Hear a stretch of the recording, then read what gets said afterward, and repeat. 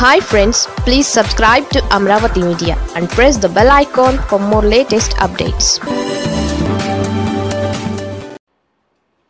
అందరికీ నమస్కారం. నేను క్రాంతి బార్లపూడి ముద్రగడ పద్మనాభం గారు అమ్మాయిని.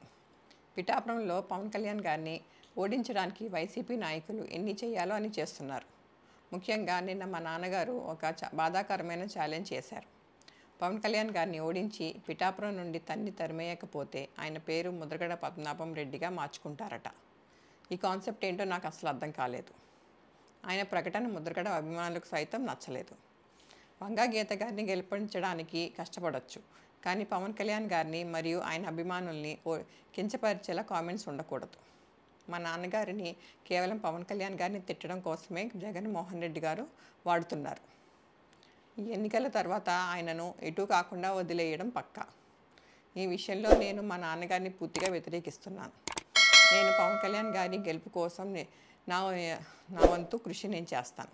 నమస్కారం. నిన్న రోజున జగన్మోహన్ రెడ్డి గారు నన్ను వాడుకుని వదిలేస్తారు. నేను పవన్ గారి పార్టీ జనసేన పార్టీ అని చెప్పేసి నా కూతురు చేత చిన్న వీడియో రిలీజ్ చేశాను అయ్యా. అయ్యా నా కూతురు నా ప్రాపర్టీ కాదండి. పెళ్ళి అవ్వనంత వరకు నా ప్రాపర్టీ.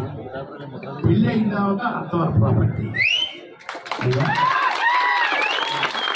కొడుకైతే సొంత పార్టీ.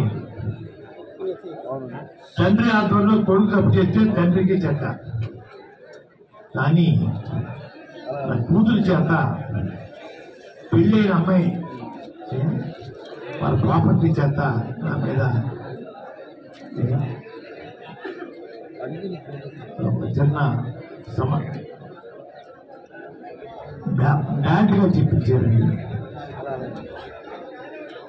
ఎంత బ్యాడ్గా చెప్పినా జగన్ గారు సేవకుడిగా ఉంటాను. అది తిరిగి లేదు. ఎవరు బెదిరించినా కూడా బెదిరిపోను పార్టీలో చేరాను. పక్క చూపు చూడడం నాకు చేత కాదు.